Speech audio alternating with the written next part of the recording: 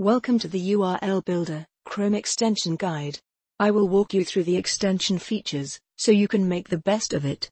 Please click the full screen icon for better experience. Once the extension pop-up appears, it's automatically grabbed the tab URI. You can change it of course. Now you should fill the form. Let us explain each field.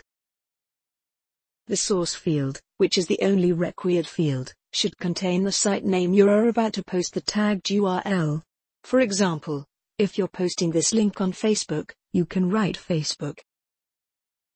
The medium field, for example, email, if you're about to post this link in your newsletter. You can use CPC for your ad network campaigns. The campaign field, for example, Cyber Monday sale, or Promo 2018.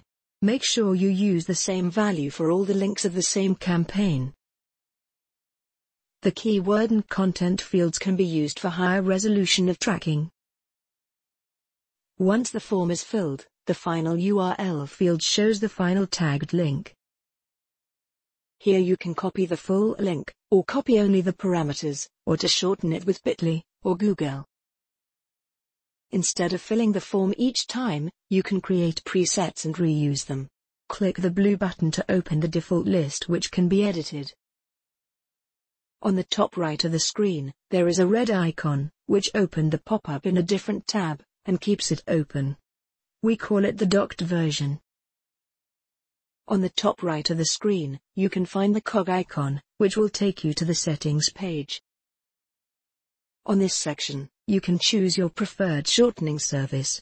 Once chosen, click the Enable button to authorize it.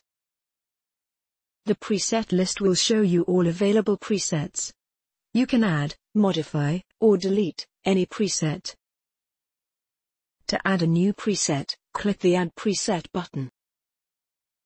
On the right side of each preset, you can see the Edit and Delete buttons, as well as the Set Default button which will force a default preset each time you open the extension.